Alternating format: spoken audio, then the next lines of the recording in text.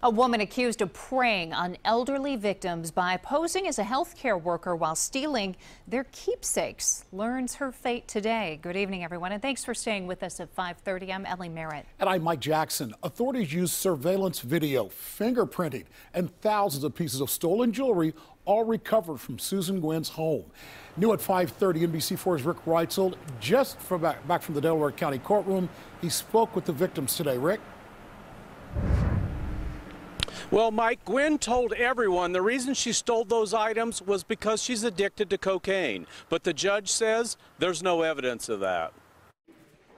55 year old Susan Gwynn, cuffed hand and foot, turned to the victims' families and apologized. I'm deeply sorry for the pain and loss. Gwynn continued to blame drugs for her behavior.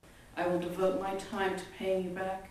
I know with all my heart this will never happen again.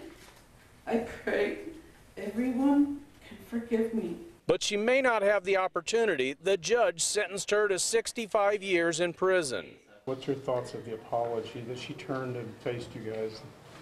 I don't think it made any difference because I don't think anybody can do that to an elderly person. I mean, they have dignity and they're still human beings. Gwynn stole checks from Claire's 93 year old mother who's battling dementia. Alan Hittapole says it was a week before his 97 year old mother told him of the thefts. She called me in tears one evening, and uh, obviously she had been fretting over this for some time. 12 of the 46 victims have since passed on since the thefts. I just came and wanted to see what the person who did this looked like. I wanted to see the person's eyes. I wanted to hear the sentence for myself.